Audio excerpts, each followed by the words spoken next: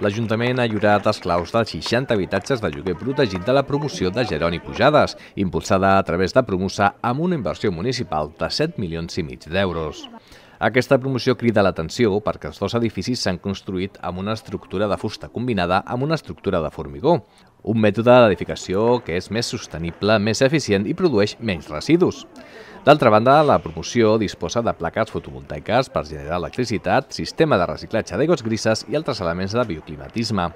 La promoció de Jerònim Pujades forma part de la planificació municipal fixada pel Pla d'Habitatge Assequible 2030, que preveu la construcció de 3.000 nous habitatges amb l'objectiu de que com a mínim el 10% de tots els habitatges de Sant Cugat siguin de lloguer assequible.